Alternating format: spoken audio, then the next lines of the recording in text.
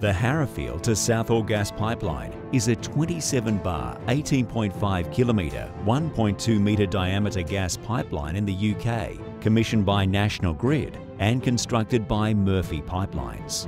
Construction was in a substantially urban environment and required over 2.3 kilometres to be constructed in four 2.5 metre diameter segmentally lined TBM driven tunnels, predominantly through London blue clay.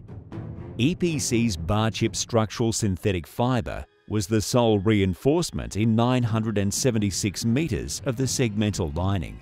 The lining was a wedge block lining made up of seven segments and one key.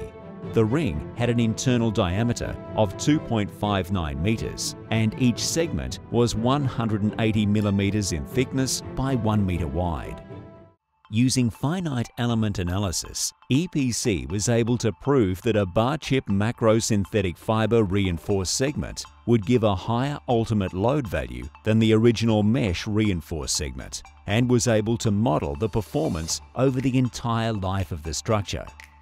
EPC's BarChip synthetic fibres gave an ultimate load 26% higher than the original steel cage, increased the speed of segment production and eliminated any risk of corrosion.